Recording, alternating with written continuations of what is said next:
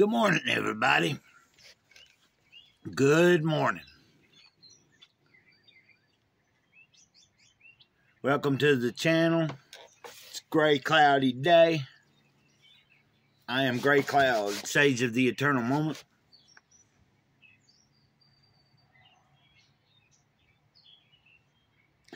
If you could, hit that like button, please. And if you haven't subscribed, I'd ask you to consider subscribing to the channel. It helps the channel grow. And share it anywhere you anywhere you are on social media, I guess. Let's try to get this thing out there to help people. But this morning, I'm going to read from 50 Things That Really Matter. Having a pretty good day. Oh. oh. Just got off uh, stupid Facebook. I don't know. I don't really need to talk about all that because I don't know why some people want to comment about something that's real simple. I don't know.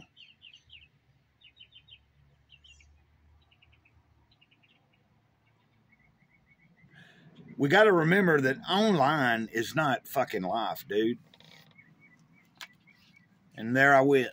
I cussed in a video. Very rarely will you hear me on on camera saying a lot, many, many. I try not to cuss a whole lot. I, am trying my best in my own personal life, but on film I try not to for the channel because I'm. I, but we're gonna leave it. I'm not some kind of pristine person that's so clean that you know. But anyway, remember hit the like subscribe, do all that kind of goo, uh, like boo stuff. Anyway, here we go. It's number 16. A good book. A good book. We swim in worlds all day long. Stock quotes, headlines that scream to do list, insurance forms, the occasional fashion magazine, or dime store romance. Yet, for all their power to occupy or distract us, these types of writing will never compare to a good book. A really good book doesn't just entertain, it leaves you fundamentally different. It's both a mirror and a magnifying glass. A woven complication of seemingly small details that has the power to show you your truest your truest self. When you read a good book, you see that everyone's problems are the same, but they're just a jumping off point. That there are as many ways to live as there are grains of salt in the sea. How do you know when you've found a good book? Time melts as you read it. Unsuspecting, you crack the spine and find yourself whisked to a place that sings to every cell in your body. Soon you're befriending characters that become soulmates. Following a story that seems truer truer than reality. Yeah.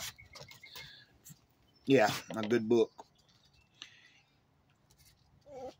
Indeed, in the middle of a good book, you become so wrapped up in the story that you forget about the language, the way an exquisite painting renders color transparent. No one, no one word or hue stands out as the most beautiful. They're all elemental, irreplaceable in one complete, perfectly balanced whole. Then, as you near the end of the book, you start metering out the pages in small doses because you don't want to leave the special world you've entered.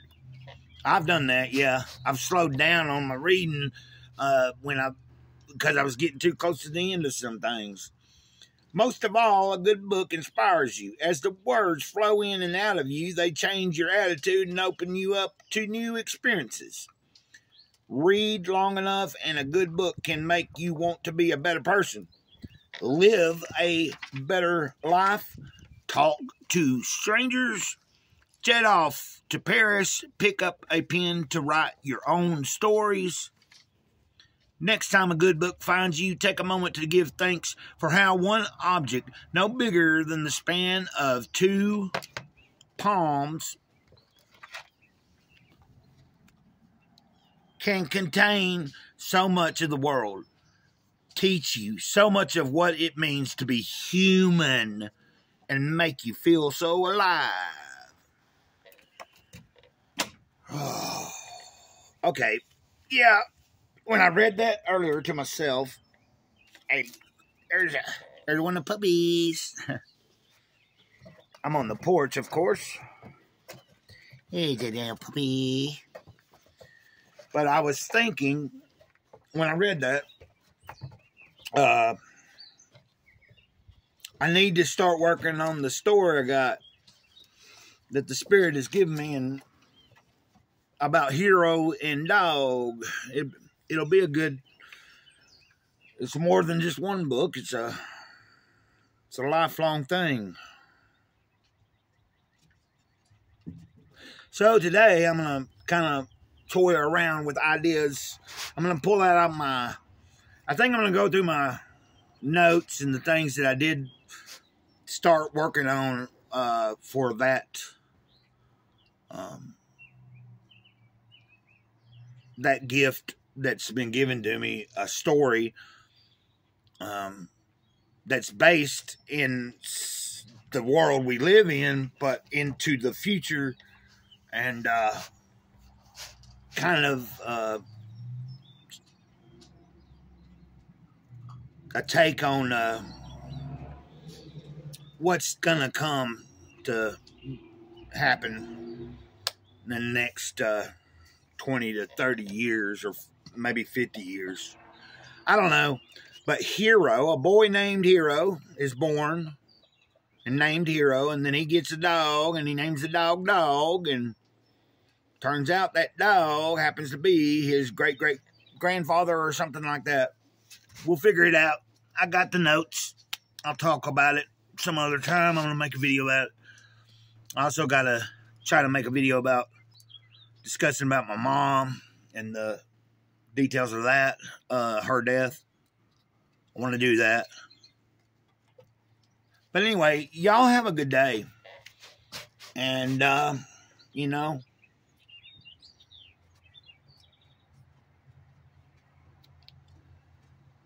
Mark Gillum, if you see this, I'm not meaning nothing bad in the comment that I commented back on your comment that you commented to me. But if you don't see it, oh well. It, you know, I'm just saying. You commented, I commented back, so don't be offended. The world and life, life is too short to be offended about stupid stuff, you guys. About dumb stuff.